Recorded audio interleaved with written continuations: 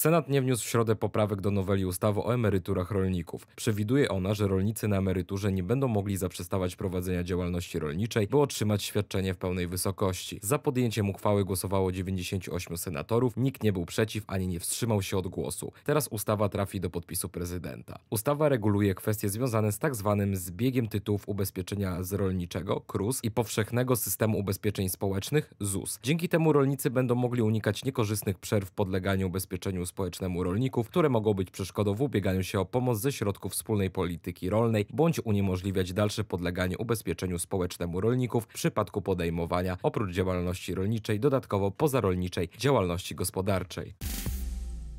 W Unii Europejskiej 46% firm podjęło działania, by stać się bardziej cyfrowym, m.in. przez świadczenie usług online. W Polsce odsetek ten wynosi 35%, wynika z raportu Europejskiego Banku Inwestycyjnego. Według raportu banku Cyfryzacja w Europie 2021-2022, wyniki z ankiety inwestycyjnej Europejskiego Banku Inwestycyjnego, koronakryzys przyspieszył cyfrową transformację europejskiej gospodarki, a firmy o wysokim poziomie cyfryzacji lepiej radziły sobie z nagłymi zmianami wywołanymi przez pandemię. Jak stwierdzono, prawie połowa firm w Unii Europejskiej potwierdza, że zainwestowała w cyfryzację w odpowiedzi na zmiany spowodowane pandemią COVID-19. W trakcie pandemii firmy o wysokim poziomie cyfryzacji lepiej poradziły sobie niż firmy niezaawansowane cyfrowo. Rzadziej odczuwalny był tam silny spadek sprzedaży i częściej wykorzystywały kryzys jako okazję do przyspieszenia cyfryzacji, wskazano w raporcie. Dodano, że firmy zaawansowane cyfrowo były bardziej produktywne, innowacyjne, rozwijały się szybciej i płaciły wyższe pensje. Autorzy raportu zwrócili uwagę, że wraz z postępującą cyfryzacją w Europie pogłębiają się podziały ze względu na poziom zaawansowania cyfryzacji, mniejsze firmy i firmy zlokalizowane w regionach, w których infrastruktura cyfrowa nie jest dobrze rozwinięta, są zagrożone pozostaniem w tyle.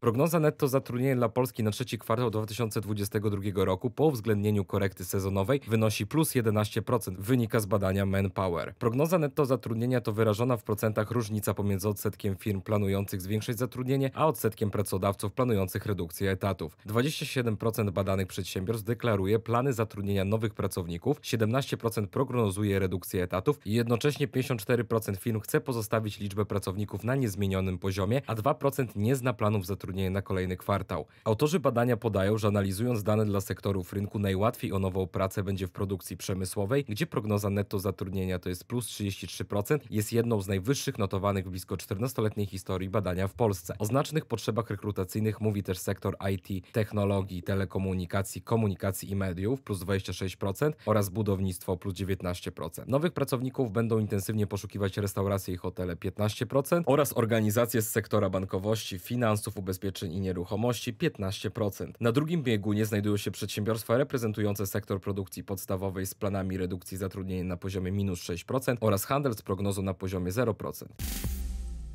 Joe Biden, prezydent USA, podkreślił, że Stany Zjednoczone będą współpracować z Finlandią i Szwecją i pozostaną czujne w kwestiach wspólnego bezpieczeństwa w okresie, w którym rozpatrywany będzie wniosek tych krajów o akcesję do NATO. Biden zaznaczył, że zdecydowanie popiera akcesję Finlandii i Szwecji. W ostatnich dniach gwarancji bezpieczeństwa w okresie rozpatrywania ich wniosku o akcesję do NATO udzieliły Finlandii i Szwecji, m.in. Wielka Brytania, Francja, Norwegia, Dania, Włochy i Islandia.